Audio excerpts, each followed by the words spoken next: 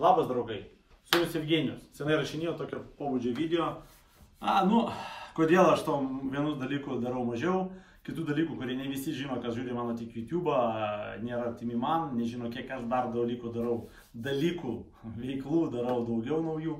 A, senai rašinėjau tokį video, bet trys a, pinklės, trys dalykai, trys veiksmai, kurie žmogų priverčia išlikti toj pačioj vietoje, kuris ir yra. Tai yra nieko nekeisti, nepagerinti jo gyvenimo.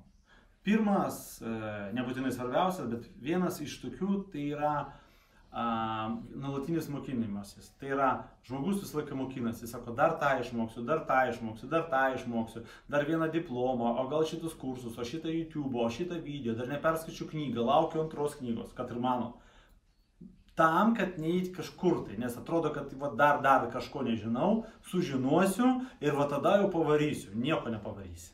Nes taip ir būna, sako, durniam sekasi, taip, durnas jis nežino, kiek laukia jo a, problemų, bet jis eina ir padaro. O tas protingas, kuris jis lavina savęs, įsivaizduoja milijoną pasiteisinimų, kodėl jam tai nepavyks padaryti. Tai vad pinklės yra nuolatos mokintis, mokintis dėl to, kad mokintis.